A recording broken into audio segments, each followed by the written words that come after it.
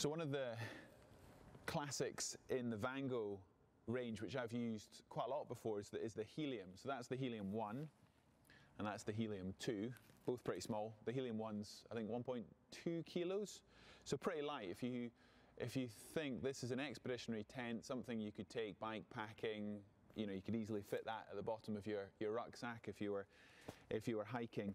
Um, but the big change with the Helium going forwards is the, the pack length.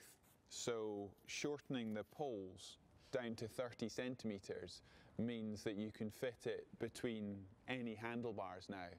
And that pole length is the big issue when you're taking tents on, on bikes. So that's a, that's a big change.